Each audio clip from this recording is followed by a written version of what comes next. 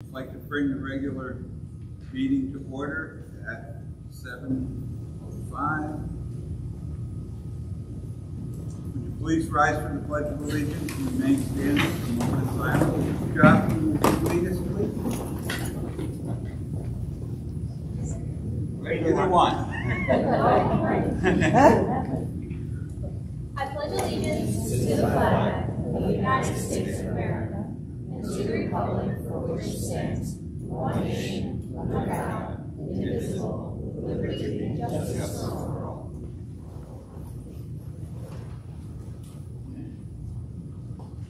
Thank you.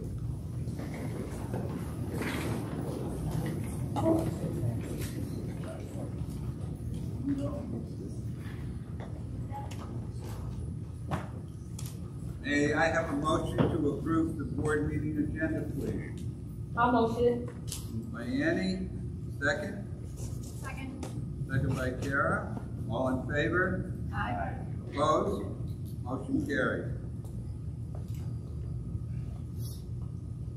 All right, uh, first order of business is the approval of the results of the canvass and the vote and adoption of the resolution declaring the results of the annual election held on May sixteenth.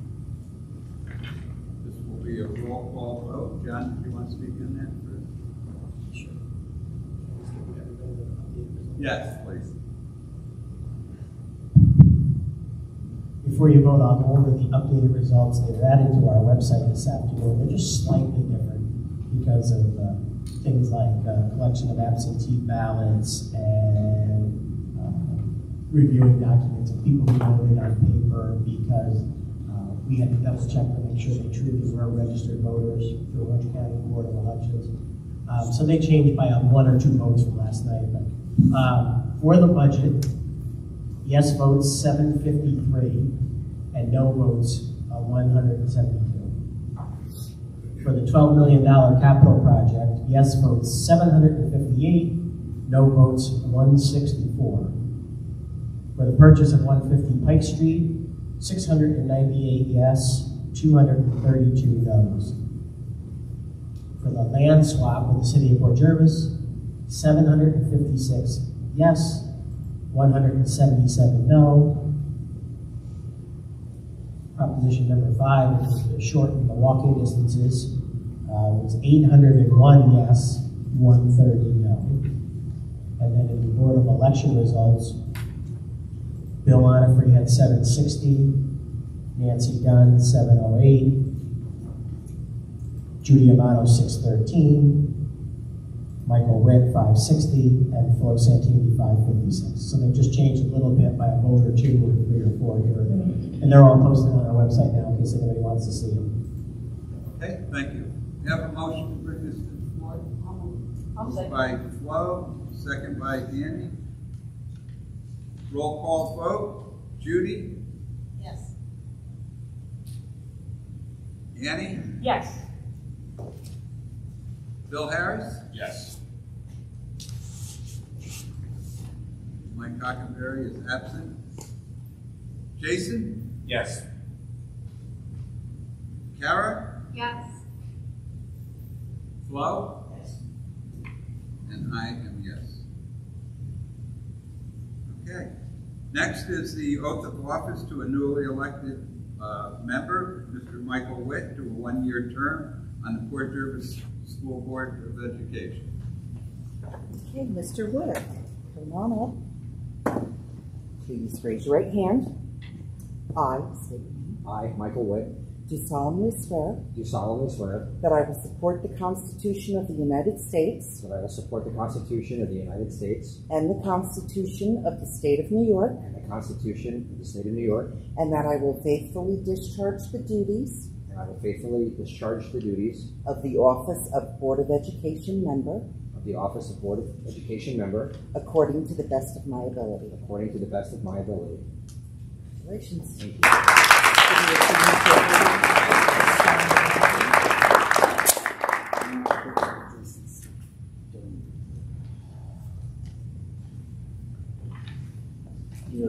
Thank you.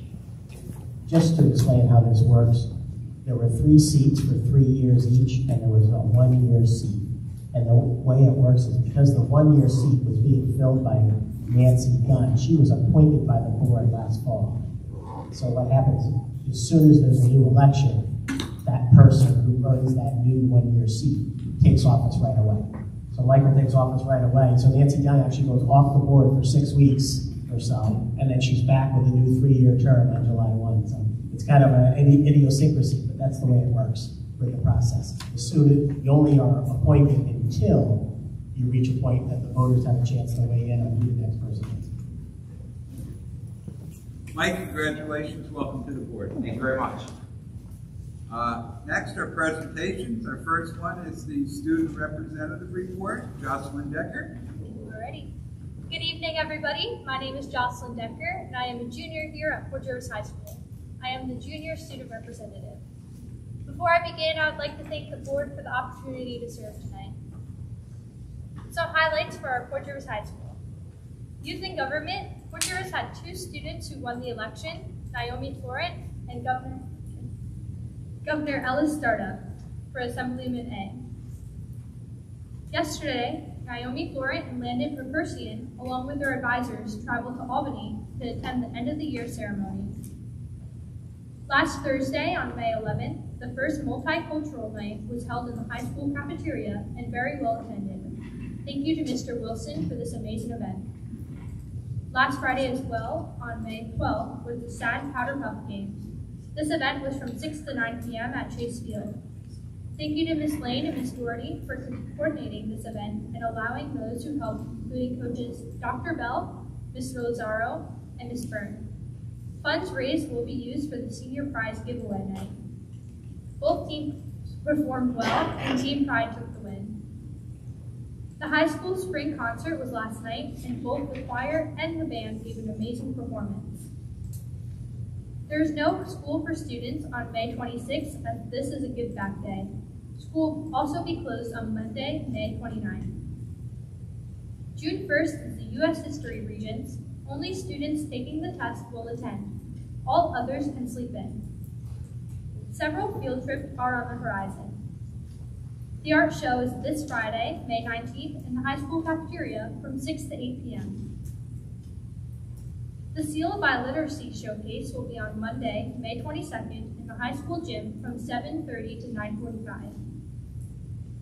On May 25th, progress reports will be distributed for quarter four. They'll be available online in SchoolTool. Exciting news, the high school pep band, pep band will be marching in the Memorial Day Parade on Monday, May 29th. Following that, on Tuesday, May 30th, the high school drama club will present a Broadway cabaret at 7 p.m. Friday, June 2nd, is our senior day. They'll perform a Port Pride Walk. Class of 23 will be very busy with a baccalaureate practice. The Port Pride walkthrough will be at HBE, ASK, and the 209 complex. On Sunday, June 4th, at 6 p.m., the class of 2023 will have their baccalaureate service at Mary's RC Church. Many celebrations will be coming up as well. Character Education Celebration will be on June 7th in the morning, and the Academic Award Night will be that night at 6 p.m. in the auditorium. Prom is also coming up. Prom will be on Friday, June 9th, and the Senior Music Awards Dinner is June 12th. Following that, Scholarship Night is on June 15th. Our valedictorian, Zach Onhoff, and salutatorian, Rachel Durier, will be guests at the Orange County Outstanding Student Luncheon on June 13th. Our senior athlete banquet will be held on June 13th from 6 p.m. at the Erie Trackside. Last but not least, the regular day of high school instruction will be on June 13th with the Regents exams beginning on June 14th and continuing until the 22nd. Thank you. Excellent report, Jocelyn. Thank you.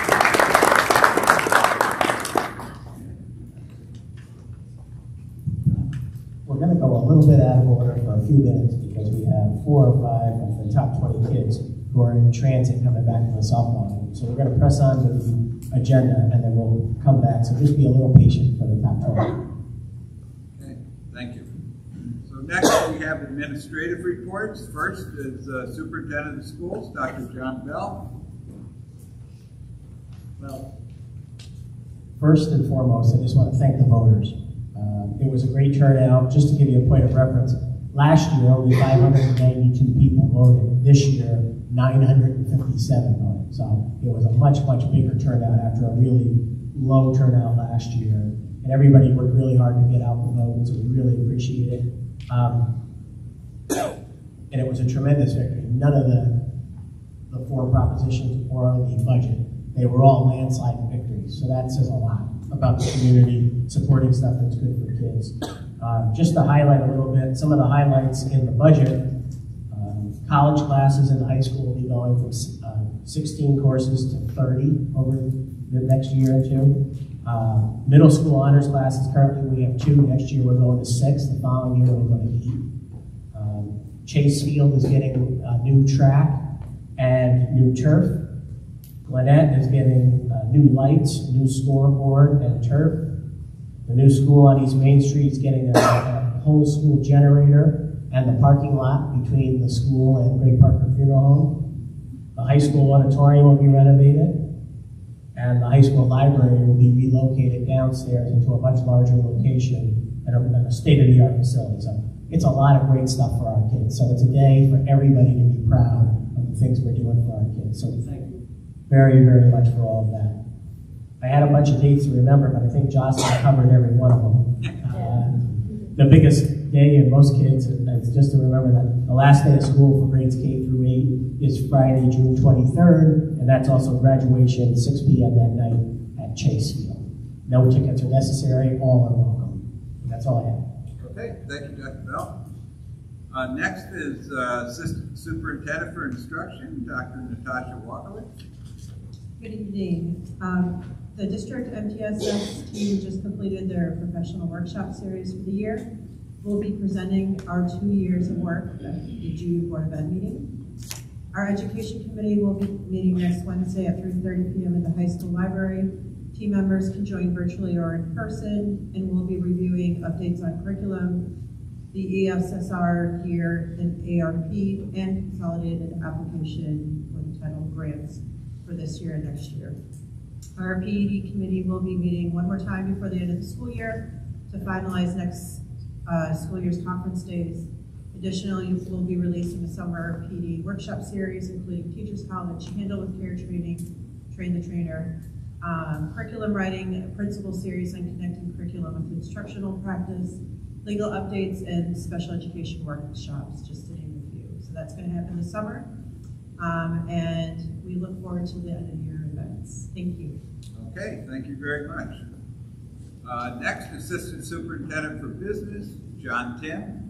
Thank you. So I first want to thank the board uh, for their vote of confidence in the budget process. Uh, You know, you created an environment that actually keeps me motivated and work as hard as we can. uh, Because you give you that vote of confidence, I really do appreciate that. Uh, To the staff members, some of them are sitting here that helped me with the budget preparation, your feedback, and your input, your preparation is valued. I do appreciate that. You know who you are. Uh, To the community, thanks for coming out strong with numbers. Uh, in support of the budget and the referendum. The yes votes and the turnout make a great statement. And let's just keep it going. This district is heading the right direction under the great leadership of Dr. Bell. Um, moving on, transitioning, the, you just got a uh, call on your phones uh, an hour and a half ago uh, with a reminder of a drill that is happening this Friday. So the district will be having two safety drills come this Friday at the 209 complex the lockdown drill will start at nine fifteen, and at HB, it'll start at two PM. There's gonna be some law enforcement, this is what would make this a little bit different, there's gonna be a law enforcement presence, both from Deer Park and, uh, Port Jervis, and I just found out Orange County Sheriff Department as well will be present for the drill. And just remember, this is a drill. It's a learning process, it's actually, the kids know what to do. This is now a drill that would help law enforcement become familiar with the building, uh, and some of the processes. And, you know, one thing I've sent out a memo is, just take a deep breath and we're gonna learn from this. We just keep getting better every time we do one of these. So, uh, in the community, I, I, you know, there's a lot that we can learn about this as well. So, uh, once again, Port Jervis is getting better every day. Thank you very much, John. All right, do we want to drop back? Sure. Okay. At this time, I'm going to ask High School Principal Anthony Lazaro to come to the podium, and he is going to introduce the Class of 2023's top 20 students, including those who just came in as long as they won.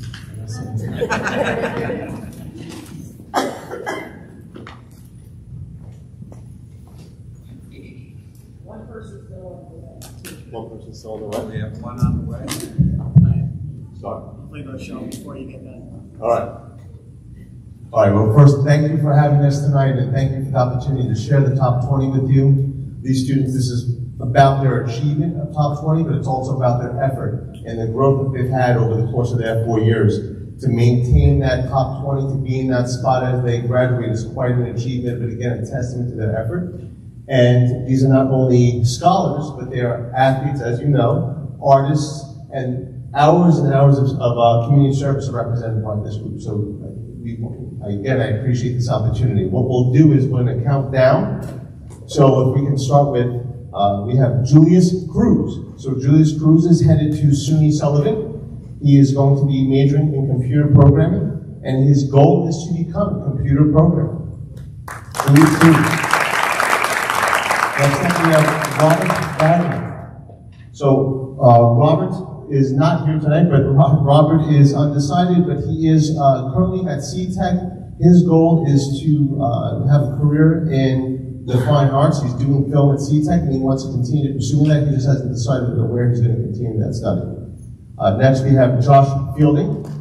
So Josh Fielding is undecided, performing between a couple of spaces, but he's going to be majoring in applied science and cybersecurity. Uh, he plans on going, getting into the networking field and again, advancements in cybersecurity. As we know, that's a big field right now. Next up, and I'm, I'm hoping I say this uh, major is uh, Alexis Tefano. So her, Alexis Tefano is headed toward Penn State University, where she coached me on this word. Kinesiology, thank you. I threw too many syllables in there. I, I have a hard time being in the city. So she plans to continue toward her doctorate and uh, with physical therapy, and she wants to uh, be a physical therapist and be in that field as a career. Next, we have Kendall Alden. Now, Kendall is going to SUNY Purchase. She plans on studying political science, and there she from there she does want to attend law school and become a defense attorney.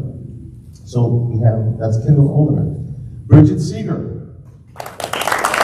Miss Seeger, Miss Seeger is headed to SUNY Orange. She is going to be studying library science. She wants to continue in the, the library field and hopes one day to be working in the Greenwich Village uh, library there called the Center. Number 14, we have Jordan Elson. Uh, Jordan Jordan is going to Mount St. Mary. Uh, she plans on uh, studying education, and she would like to be a math teacher. That's something we, we always in of, right? Uh, next up, but I didn't see her tonight either, um, is Ariana Merchan Espada. She's going to the School of Visual Arts in New York City. She was one of our winners at ADAC, at the ADAC contest. She wants to study animation and hopes to open her own animation studio. Uh, we're joined tonight by Daniel Danko. So Daniel is headed to SUNY Albany. He is looking to study computer science and also plans to minor in meteorology.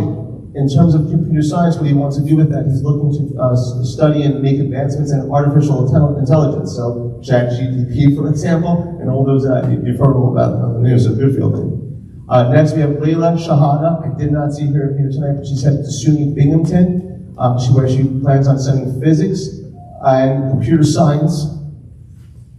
We have, now we're at number 10. So number 10, we have Paris Khan, going to LSU, Louisiana University, uh, where she will study nursing and, and plans on being either a nurse practitioner or a physician assist, assistant.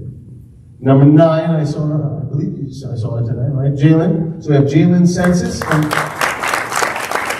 headed to SUNY Delhi, where she'll be studying veterinary science and would like to be a veterinarian technician. Number eight, Penny Jones. Sent her to Howard University, where she plans on studying psychology, and she would like to continue her studies to become uh, a uh, in terms of a PhD and be a clinical psychologist, a clinical therapist. What I say, clinical therapist. Next, number seven, we have Jenna. Mary College, where she intends to study adolescent education, specifically English, and she hopes to be at Port Jervis High School English teacher. Uh, you hear that? Emily's Pulsinelli.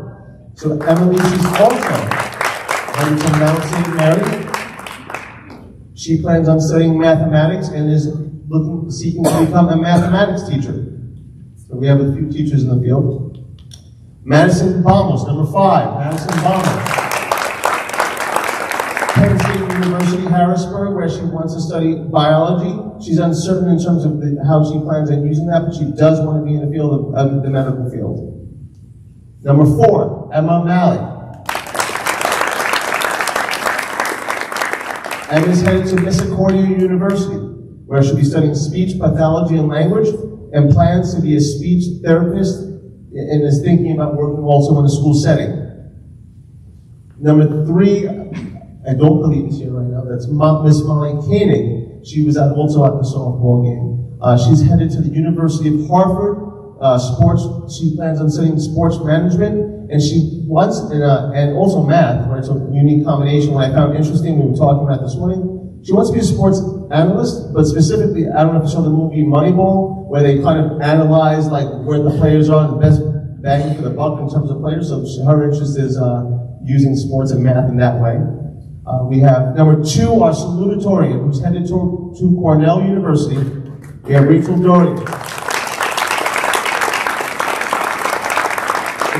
She'll she'll uh, studying uh, applied economics and management at the SC uh, Johnson College of Business, right? And business management, great.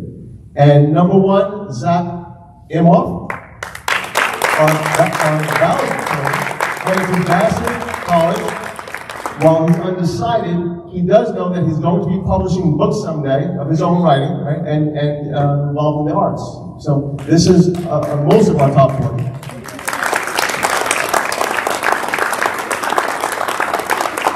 Again, this, this is a group of tremendous citizens in our building, tremendously hard workers, and, and we're super proud of them. So.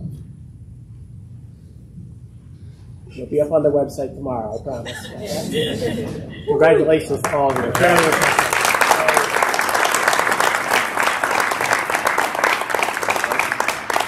Thank you, guys. Thank you very much. Yeah. All? Yeah.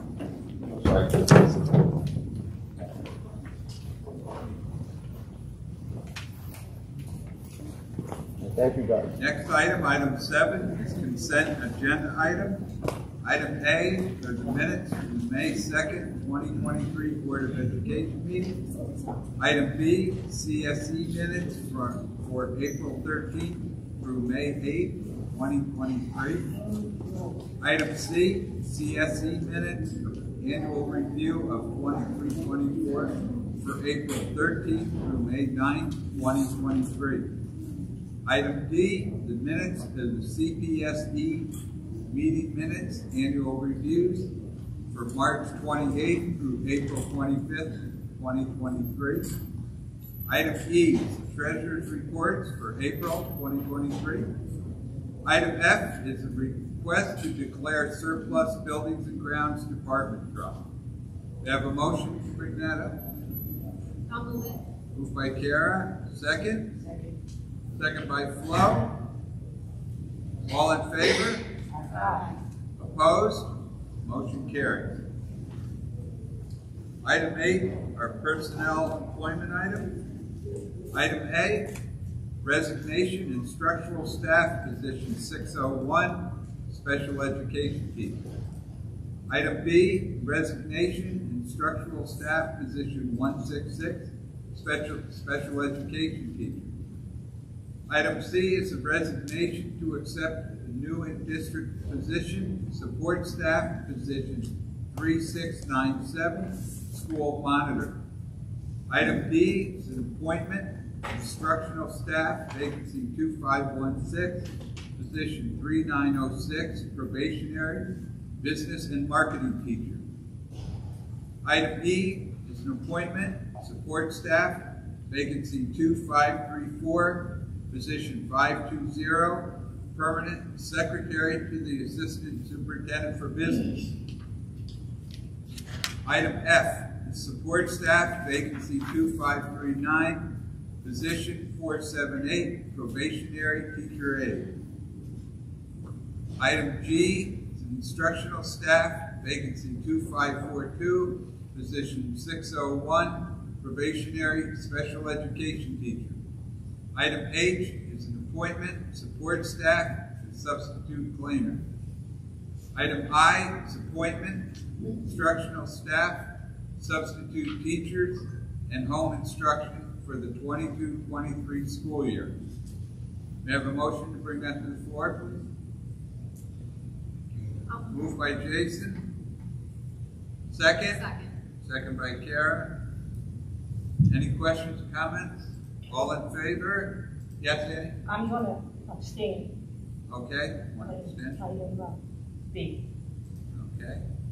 All in favor? Opposed? And one abstention.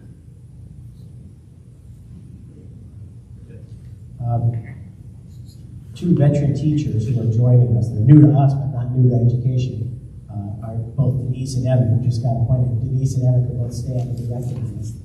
Congratulations and welcome to the. It's great to have you guys. We really appreciate it. Thanks for coming tonight. That was very nice. Thank you. Uh, Next are action items. Item A is policy, first and final reading, policy number 5692.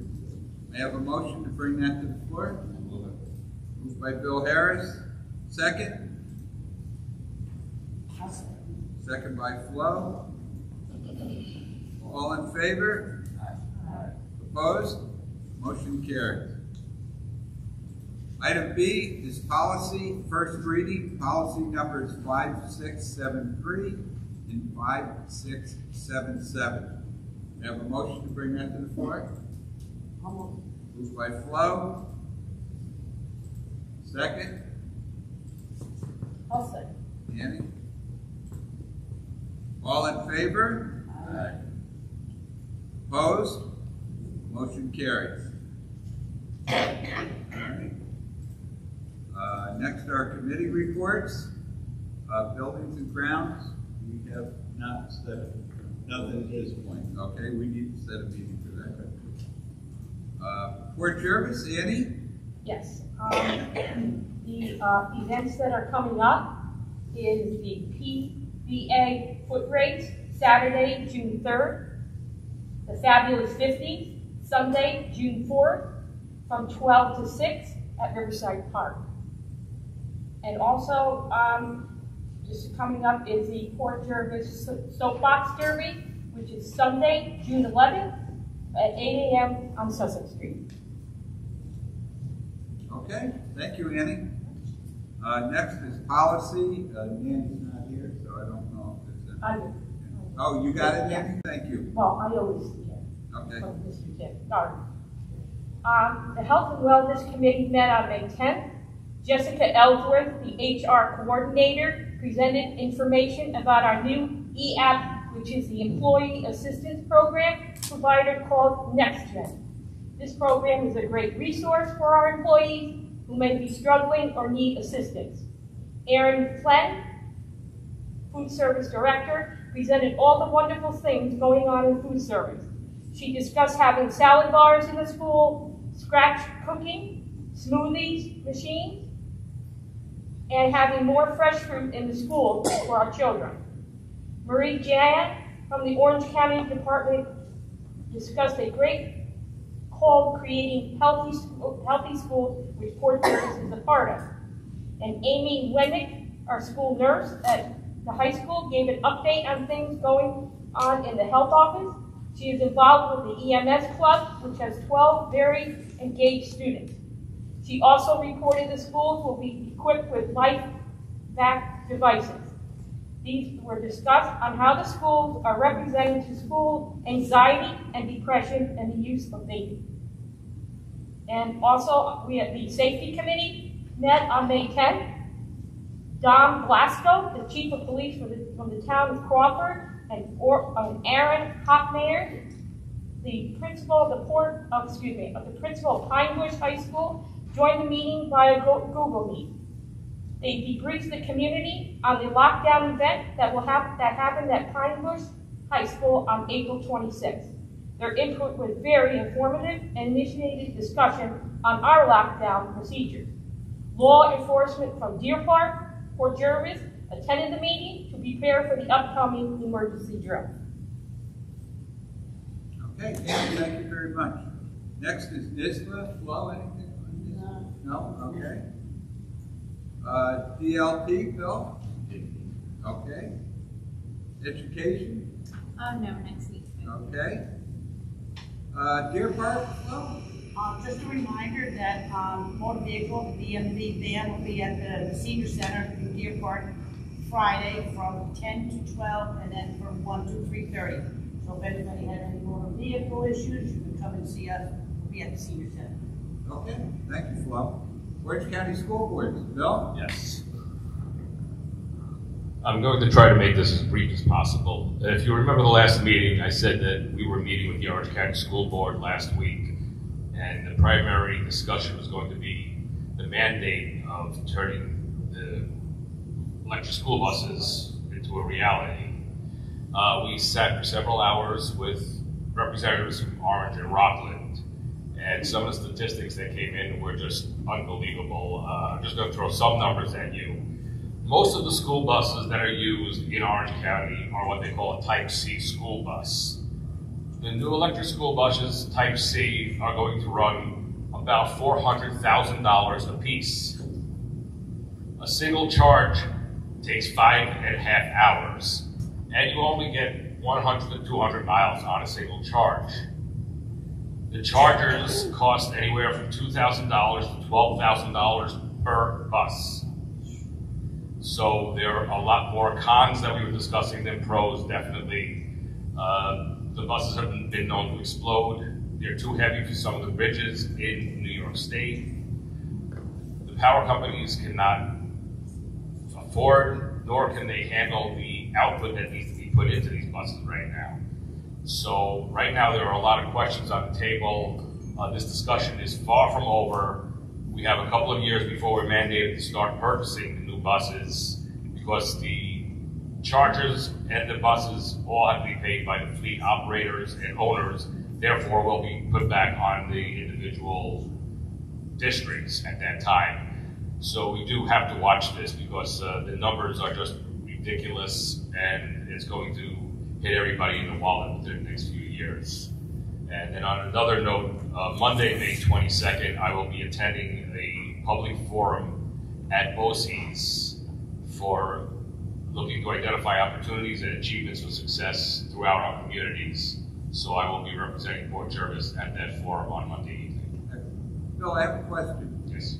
Uh, has there been any mention uh, by our governor that there's going to be monies to go along with these mandates? Yes, there is a $600 million grant that is being spread throughout the country. Very nice. um, also, NYSERDA will be assisting the individual districts with grants that have to be filled out. And Orange and Rockland will come out and do assessments upon uh, request by any school district that is looking to uh, update. I know cities like Middletown are actually thinking of putting bus garages on both sides of the city so they can do their runs without a problem. Because it was also discussed when we have to bring students to Syracuse, we would have to change buses three or four times on the way to get there. So there are a lot of issues coming up. Uh, one of our speakers and one of our members is a current New York City firefighter that brought up a lot of valid points about fires in these buses, and it takes several days just to put the fire out in these buses. And they've been known to blow up also. So there's a, a lot of questions that have to be answered over the next few years. Okay, Bill, thank you very much. Great report on that. Not good news, but thank you very much, and thank you for representing us at the meeting. All right, next are board member comments. Uh, Jason, do you have anything? I don't. I'm kind of at a loss after that bus thing. Okay. Sorry. Judy? Uh, yes, I'd like to thank everyone who came out to vote. I heard we had a record number of young, new voters, which is really exciting. I'd like to thank anyone who did support me, and I'm very happy that all the items uh, on the budget have, have passed. All right, thank you. Mike? Um, well, well um, I'm glad to be here. I look forward to working with everybody. Um, I'm glad it was a great budget vote. and The outcome for the voter turnout was incredible. Um, hopefully, we can add a few thousand next year. Very good. But uh, I look forward to, uh, other than this busing issue, uh, jumping in right away and, uh, and, uh, and Well, like I said, it's a pleasure having you with us, and thank you very much. Annie? Yes. Um, I would like to thank the voters for coming out and passing both the budget and the referendums. And I would like to congratulate the incumbent board members that were, were- that were elected, and congratulations to our newly elected board member, Michael Wood. I did attend the Kuykendall Award, and I congratulate, and, and the, I congratulate them, and the best of luck to the participant. And I'll tell you, when I see the students here, the 20 of them, all I can think of those little eyes coming in my health office, you know, and look at them now. I, I am just so proud. I'm proud of them all. You know, I can't wait till graduation, you know. And I've got so many, are you coming, are you coming? Or take my picture, but definitely, because I'm your favorite nurse. um, also, um, Teacher Appreciation Day. I want to thank you, all of you, for your, for your hard work, which does not go unnoticed. You are, you are most appreciative, and I thank you all. Thank you. Thank you, Annie. Bill? Yes, I just want to bounce off that staff appreciation last week, and uh, we're here for you, and we enjoy working with you, and we're so glad and honored for everything that you do for our children and our community. Uh, personally, I want to congratulate the top 20. I've known most of those students since they were in seventh grade when I was over at the middle school, and I want to welcome Mike to our family. Thank you. Thank you. Well? Okay. Kara? I just want to extend my gratitude to the community for supporting the budget. Thank you. And, you know, I want to jump on that too. I want to tell you that uh, it's really wonderful to see how the community supports the children in the school district. And, you know, not only in the school budgets, but Fort has always been a very caring and giving community. Whether it be a fundraiser for a needy family or a sick child or whatever, I am telling you, scholarships for our students. For a small community, these people have huge hearts, and uh, I really appreciate the public for that. On another note, I had the pleasure of doing Career Day at the uh, ASK this morning. I have to tell you, it was pure enjoyment. I want to thank all the uh, people that volunteered their time, doctors, police officers, uh, beauticians, uh, electricians. Uh, we had a variety of people, and I want to tell you, the kids are great. Very, very polite, and some of their questions would just make you howl. They're just, they're just so great.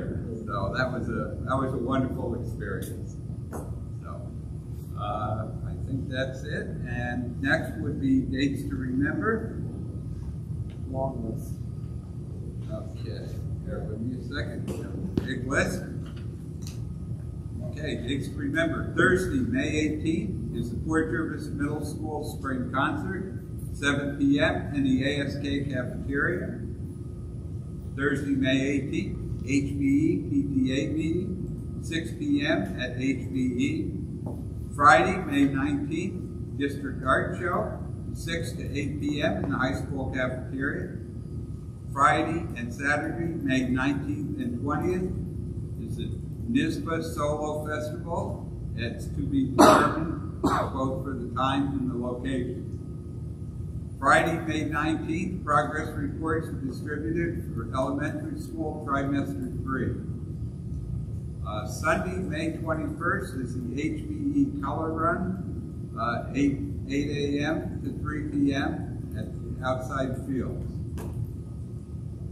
Monday, May 22nd, Seal of Biliteracy Showcase, 7.30 to 9.45 a.m. in the high school gym. Wednesday, May 24th, the HBE Spring Concert, 7 p.m. in the high school auditorium. Thursday, May 25th, is the ASK screening, 9 a.m. in the ASK library. Friday, May 26th, high school progress reports, number four, available on SchoolTool. Friday, May 26th, Port Jervis Middle School YMCA Beat the Streets program, 6.30 to 9 p.m. in the ASK gym. Monday, May 29th is Memorial Day. School is closed. Tuesday, May 30th, a high school drama club broadcast cabaret, 7 p.m. in the high school auditorium. Thursday, June 1st, is Regents exams for U.S. history and government at 8 a.m. in the high school. Friday, June 2nd, Senior Day, Fort Pride Walk and Barbecue. That's an all-day affair. Sunday, June 4th, is Baccalaureate, 6 p.m. at St. Mary's Church. Wednesday, June 7th, is Academic Awards, 6 p.m. in the high school auditorium. Thursday, June 6th, is the DARE graduation ceremonies at ASK and HBE, 10 a.m. at ASK and HBE. Thursday, June 8th, National Technical Honor Society induction to be announced both for the time and the location.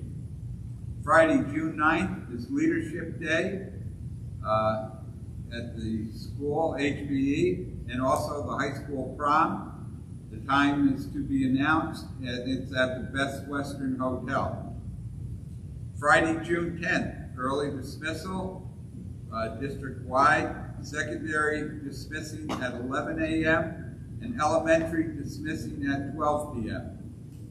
Monday, June 12th, is the high school music department dinner and awards, 5.30 to 8 p.m. in the high school cafeteria and auditorium. Tuesday, June 13th, ASK kindergarten screening, 9, 9 a.m. in the ASK library. Also on June 13th is HBE kindergarten moving up ceremony, 9.30 a.m. at HBE. In the Port Jervis High School PTSA meeting, 7 p.m., high school room 133. And the Board of Education meeting, retiree reception, 7 p.m., in the high school cafeteria.